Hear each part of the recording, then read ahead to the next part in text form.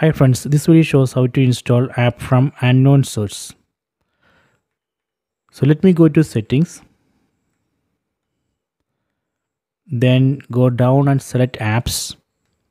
Then go down and select security. So here we can see two options. The first one is scan apps with Play Protect. So we have to disable this option to install apps from unknown source so let me disable it. So after that we can copy android uh, apk file to a pen drive then connect to tv then we can install it using file manager app. Or you can send android apk file from your mobile phone to tv using send files to tv app. Then you can install it. So you have to disable these two options. Then only we can install android apk file from unknown source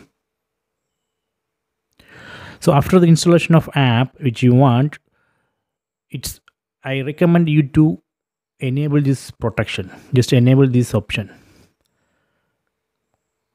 So if you want more protection you can just enable the second option which send unknown apps to google for better protection.